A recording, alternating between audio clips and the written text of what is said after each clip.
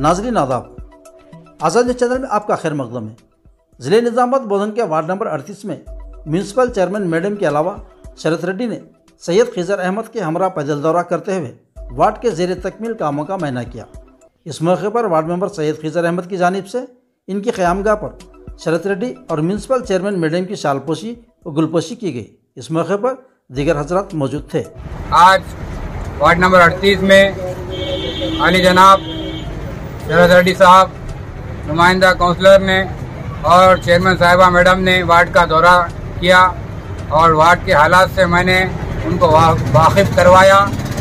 इन उन्होंने हमसे वादा किया है, जल्द से जल्द जो मसाइल है उसको तकमील करने की। इन हम उम्मीद करते हैं वार्ड के जो भी हमारे मसाइल है इसके लिए हमने चेयरमैन साहब को कहा, फंड लगाइए साहब।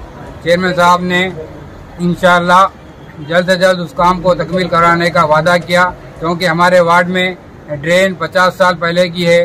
जो रोडा हैं, उसमें बड़े बड़े खड्डे हो चुके हैं, बाइक चलाने वाले गिर जा रहे हैं। लिहाजा म्यूनसिपल कमिश्नर साहब से चेयरमैन साहब से चेयरमैन मैडम से कि हमारे वार्ड के लिए फंड लगाइए।